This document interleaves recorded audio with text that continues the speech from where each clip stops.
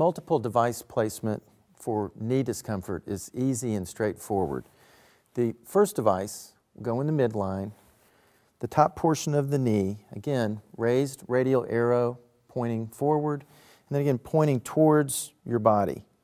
The first device is placed in the midline in this location. The second device location is placed lateral and medial. And again, to find the location, you can basically flex and extend the knee and feel with your fingers the joint space. This will be very obvious.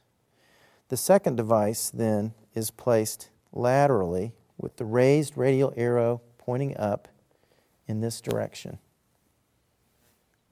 Raised radial arrow pointing up. The third device is placed laterally, again at the level of the joint space. Like so. A fourth device can then be placed in the lower leg in the midline, like so. This device placement has been helpful in patients that have chronic inflammatory processes giving rise to chronic knee discomfort.